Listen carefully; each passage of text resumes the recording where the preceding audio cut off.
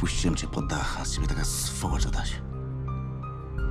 Moja agentka powiedziała, że ma w rękach świetny scenariusz, że muszę go przeczytać. Stanęła na głowie, żeby mi ten scenariusz dostarczyć i za to jestem jej bardzo wdzięczny, bo przeczytałem i rzeczywiście od razu było takie wow, ale to jest świetnie napisane. Czytając widzisz już film, twoja wyobraźnia galopuje i, i wyświetlają ci się sceny i właściwie wiesz, co zrobić, wiesz, wiesz, prawie wiesz, jak to zagrać, jak no jest tak sugestywne, tak świetnie napisane i żeby tylko tego nie spaprać, żeby to zrobić tak, jak jest napisane.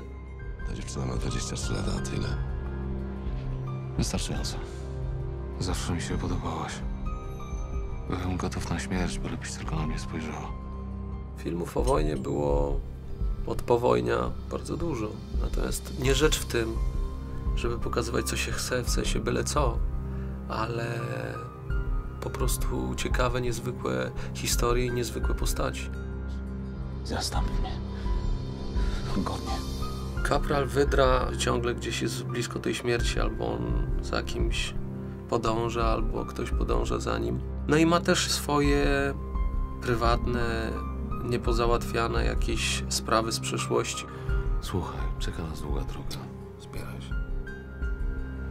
No i to też bardzo mi się podobało w tej postaci, w tym scenariuszu, że to taka, takie, taki połamany jest ten, ten facet, a wydaje się bardzo, bardzo, bardzo prosty. Myślę, że każdy aktor, e, który czytał ten scenariusz, bardzo chciał w tym zagrać, bardzo chciał zagrać tę swoją rolę, bo, bo one właśnie są takie nieoczywiste, nie tylko białe i czarne, no, no jak to się mówi, tak, tak, tak jak w życiu.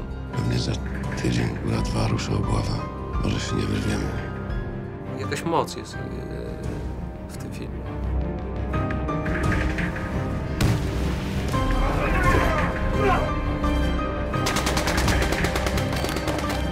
Nazywam się Marcin Torociński i zapraszam wszystkich do kin na film Obuława.